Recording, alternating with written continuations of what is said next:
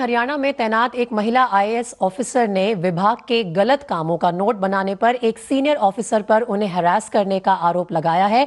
अब इस senior officer ने कथित तौर पर उनकी एनुअल कॉन्फिडेंशियल रिपोर्ट बिगाड़ने की धमकी दी। हालाँकि जो सीनियर ऑफिसर जिस पर यह आरोप लगाया गया है, उन्होंने इन आरोपों को झुठलाया है और इन्हें बेबुनियाद बताया है। आरोप पूरी तरह से है। उनकी हाल में ही चंडीगढ़ पोस्टिंग हुई थी एक महीना पहले पोस्टिंग हुई थी। और नेचुरली जो फ़ील्ड से नया अधिकारी जब इतनी जल्दी जब चंडीगढ़ पहुँचता है तो, तो तनाव तो कुछ होता ही है मैं समझता हूँ तनाव हुआ होगा उनको। गुड़गांव वाली मीटिंग में ये नहीं आई। फिर आज रोहतक में मीटिंग थी तो मैंने रोहतक में भी उन्होंने कहा मुझे छुट्टी चाहिए। मैंने कहा छुट्टी अवश्य लीजिए। पर अगर आप सुनेंगे ही नहीं फ़ील्ड में लोगों की क्या समस्याएँ हैं? तो आप हेडक्वार्टर पर बैठ के निर्णय ठीक नहीं ले पाएँगे।